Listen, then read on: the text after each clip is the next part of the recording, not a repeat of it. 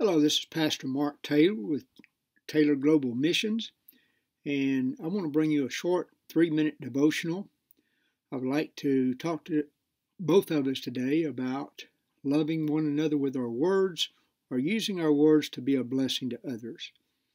The Bible says in Proverbs 18:21 that death and life are in the power of the tongue, and those who love it will eat its fruits.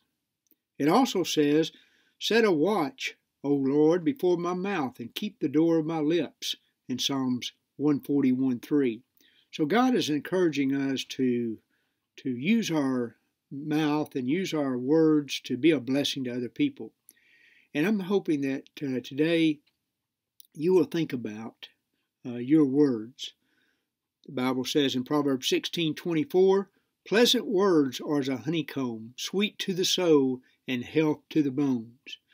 And you know you can bring good health, you can bring encouragement to other people simply by using words. It's simply by being a blessing and saying positive things and encouraging and uplifting things.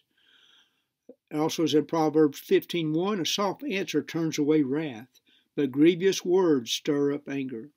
Even when someone is angry, if you'll use soft words, you can be a blessing to them and help them calm down and and uh, use what God has given you to be a blessing to other people.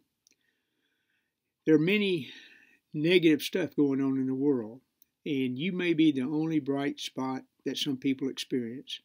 You may be the only person today that, that tells that cashier or tells uh, that person waiting on you uh, at wherever you eat that you appreciate the job that they're doing.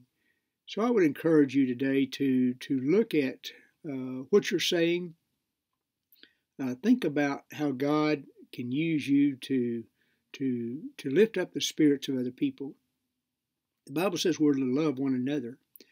And loving one another involves a lot of different things, but one of the things that can be used to love one another is words. Jesus said in Luke 6:45, "A good person out of the good treasure of his heart brings forth good, and an evil person out of the evil treasure of their hearts brings forth evil. For out of the abundance of the heart his mouth speaks. So let's examine our hearts and put good things in our hearts so when we do speak, good things will come out of our mouths. Take time to read your Bible, take time to read positive books, take time to talk to positive people, and be a blessing to other people today. Again, you are a vessel that uh, that God wants to use. You are Jesus' feet, you're his hands, but you're also his mouth. So be a blessing today and encourage other people, and God bless you.